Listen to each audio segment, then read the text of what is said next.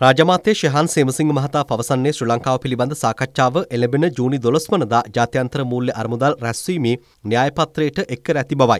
එම සැසිවාරයේදී ශ්‍රී ලංකාවේ ආර්ථික ප්‍රතිපත්ති හා ප්‍රතිසංස්කරණ ප්‍රගතිය ඇගයීමට ලක් කරනු ඇති.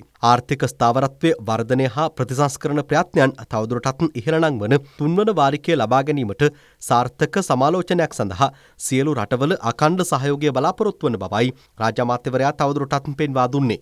පසුගිය වසරේ දෙසැම්බර් මාසයේදී ජාත්‍යන්තර මූල්‍ය අරමුදලේ විධායක මණ්ඩලය විසින් ශ්‍රී ලංකාවේ වැඩසටහන පිළිබඳ පළමු සමාලෝචනය අනුමත කරන ලද අතර එමගින් ඇමරිකානු ඩොලර් මිලියන 337ක් ලබා ගැනීමට හැකි වුණා. පසුගිය මාර්තු මාසයේදී ජාත්‍යන්තර මූල්‍ය අරමුදලේ කාර්ය මණ්ඩලය හා ශ්‍රී ලංකා බලධාරීන් දෙවන සමාලෝචනය හා උපදේශනය අවසන් කිරීම සඳහා ආර්ථික ප්‍රතිපත්ති පිළිබඳ කාර්යමණ්ඩල මට්ටමේ ගිවිසුමකට එළඹුණා.